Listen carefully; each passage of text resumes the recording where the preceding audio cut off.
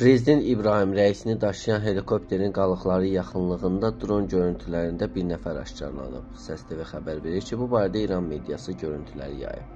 İran bu görüntüləri sui-qəsd iddiaları ilə yanaşı müzakirə edir. Qeyd edək ki, İran prezidenti İbrahim Rəisi, Xarici İşlər naziri Hüseyn Əmir Əbdullahyan, Təbrizin İmam Cüməsi Ayətullah Əl-Haşim, Şərqi Azərbaycan vilayətinin valisi Malik Rəhməti 19 mayda Şərqi Azərbaycan vilayətində baş verən helikopter qəzasında həlak olub. Anladın görsəndi.